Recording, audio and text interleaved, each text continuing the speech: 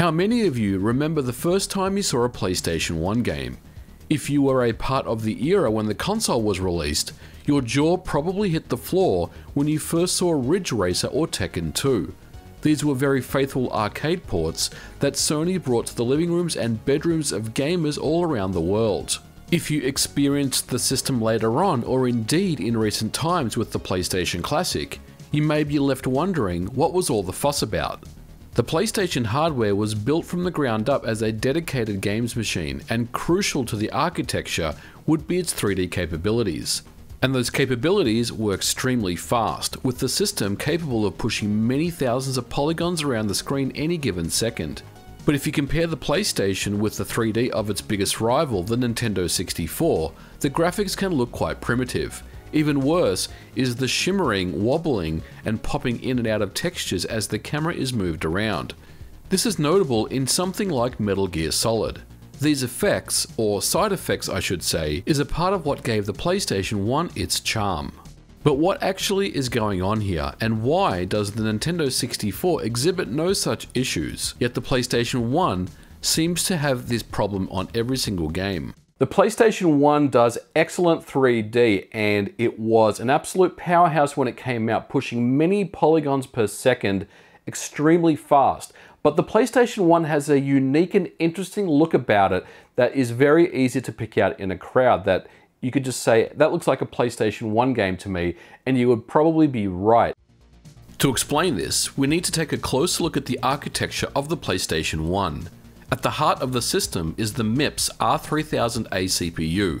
It's a 32-bit processor running at 33 MHz. As with almost every CPU out there, it has an ALU or arithmetic logic unit. What's missing however is an FPU or floating point unit. This is important and we'll come back to this later on. The PS1 has two co-processors, COP0 and COP2. COP2 is for the GPU and that's the one that we are interested in. The GPU is responsible of course for the graphical output. The PS1 has a 1MB frame buffer at a maximum of 1024 by 512 pixels. There's also a 2KB texture cache for speed. Also interesting is that the GPU's frame buffer is not directly accessible from the CPU at all. In other words, you can't directly draw into it. Rather, commands are sent to the CPU to place objects into the frame buffer. This is done with what's known as ordering tables. These tables tell the GPU how and where to draw each primitive, and they are then sent to the GPU in the order that you wish to draw the 3D scene. The GPU can draw triangles, rectangles, lines, points, and sprites. Textures can also be applied to polygons and sprites. There's also different color modes. And this is all pretty standard stuff for a 90s 3D GPU. But what's interesting about the PS1 is that there is another custom chip that is the heart of all 3D calculations that is known as the GTE or Geometry Transformation Engine. This engine is used for fast vector mathematics to handle rotation, translation, perspective, and more. Of course, a CPU can handle this for you, but even with the most optimized code, this is the main job of the GTE and will perform these operations much faster. In fact, the GTE can manage on average 360,000 flat shaded polygons per second. The PlayStation 1 has three main limitations when it comes to graphics. No MIP mapping, no Z buffer, and no floating point numbers. Let's take a look at each of these. MIP mapping is a technique where a single texture is scaled and filtered at different resolutions. These are pre-calculated sequences that help eliminate alias effects and also increase performance because these MIP maps are generally cached. The downside of MIP mapping is textures at low resolutions appear blurrier. The Nintendo 64 has MIP mapping enabled for example in these scenes in perfect dark, but sometimes the Nintendo 64 gets criticized for appearing too blurry and this is one of the reasons why. On the flip side, on a standard CRT, even with a composite signal, the PlayStation 1 could look very good with a very crisp and nice looking signal. The downside, of course, is that on a modern HD TV, a PS1 3D game does not look very good. It looks very pixelated, and upscaling and other things don't always help. But lack of MIP mapping isn't the reason why textures warp around, there are still some things to cover. A Z or Z buffer is an important part of any 3D graphics hardware, and it was left out of the PlayStation 1. To best explain a Z buffer, think of a painting or a drawing. An artist is attempting to recreate a 3D scene on a 2D plane, like a canvas or a piece of paper. Typically, the sky, horizon, and background objects in the distance are drawn first, followed by closer objects, and then followed by the closest ones. That way, the illusion of perspective is maintained, but in order to make things look realistic, the hidden surfaces must not be filled in. In a 3D world, we have x and y coordinates to determine placement, but the z or z coordinate is used for depth, or in other words, how far from the camera the object is being placed. The Z buffer manages the depth of every single object in the scene and essentially solves this hidden surface problem for you. On the PlayStation, the GPU lacks a Z buffer, so no depth or Z information is ever passed to the GPU, and there is no way in hardware to do proper hidden surface removal. As an example of lack of Z buffer, let's consider the original tech demo, the T-Rex that stunned developers with the power of the PlayStation. If we take a closer look at the animation of the T-Rex, everything is rendering correctly with the triangles furthest away from the camera, hidden by the body of the T-Rex that's closer to the camera. So, we just said that the PlayStation has no Z buffer in hardware, so how is this possible? Well, it doesn't mean that one can't be built in software, and that's one of the complexities for the developer. Essentially, triangles need to be sent to the PlayStation GPU in order of depth, with the ones furthest away being sent first all the way to the nearest ones. The hardware will still render it for you and hide polygons that are furthest away. So what exactly is the problem here? And why can't the developer just sort the triangles in correct order and pass them to the GPU? Well, that's exactly what most developers did when they developed games for the PlayStation. The problem here is, is that textures need to be applied to each polygon, which rely on accurate depth values.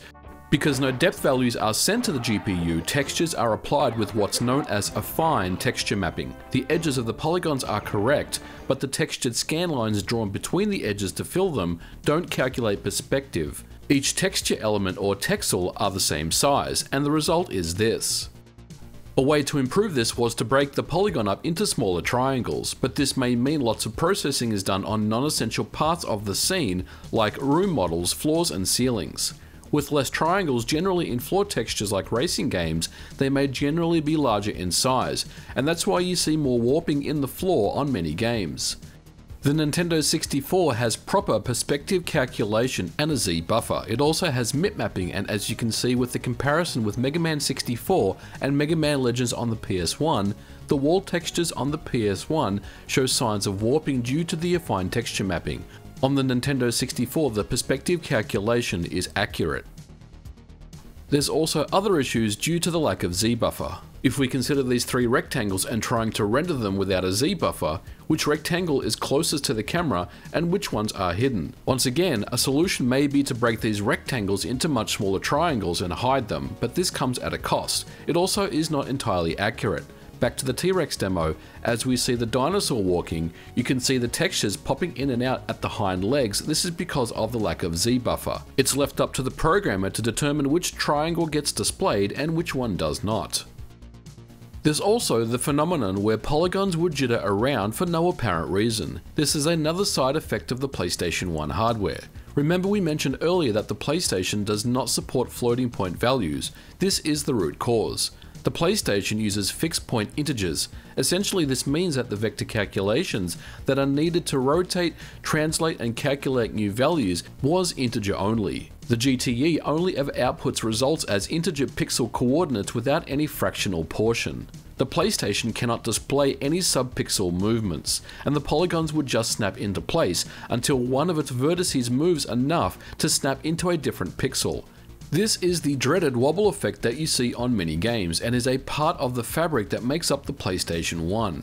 But as 3D hardware is much more powerful these days, advances in PlayStation 1 emulators means we are able to patch and fix these issues with Z-buffer and subpixel movements to remove the warping and wobble of polygons. These are simple emulation options that can be applied, and in many ways, this makes the games much different than how they used to be. It's fair to say that these issues would have driven programmers mad, having to develop sorting algorithms, determine the number of triangles to use, how to reduce warping and wobble, it wouldn't have been fun. But these days, people seem to embrace the PlayStation 1 graphical style, calling it retro, and it's something that you can download and use shaders that accurately will reproduce PlayStation 1 style effects on engines like Unity. And I personally wouldn't have it any other way. The PlayStation 1 with its quirks, the wobble, the warping, all these issues remind me of the golden age of video games in the mid to late 90s, where games were starting to mature, arcades were becoming very popular, and 3D on home consoles were just getting started. It's really hard to know why Sony omitted these features from the graphics hardware on the Sony PlayStation. I think if I was to guess, it's probably to cut some costs on the retail price of the system. It wanted to be very competitive with the Sega Saturn and the 3DO, and obviously it completely destroyed the competition. But additional hardware features that get added to 3D chips and the architecture end up costing more money, end up costing more R&D money, and ultimately would increase the cost of the system. So I think maybe they felt like these features could have been left out in order to keep the cost to where it was at 299 US dollars. But of course, I am speculating. I really don't know why those things were left out. And if someone that is more affiliated with Sony at the time has a better understanding of why, I would love to hear the reasoning for you know some of the omissions that were made. But of course, it was also you know early 3D, and we were still kind of feeling our way around you know, hardware 3D acceleration with the earliest 3D effects cards that came out.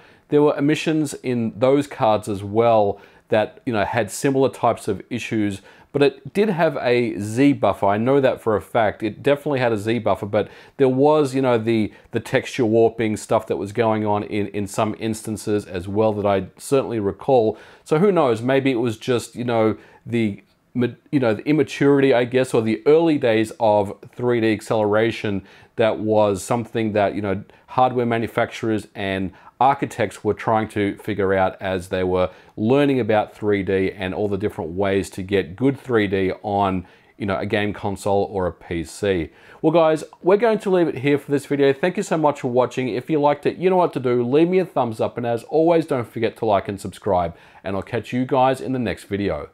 Bye for now.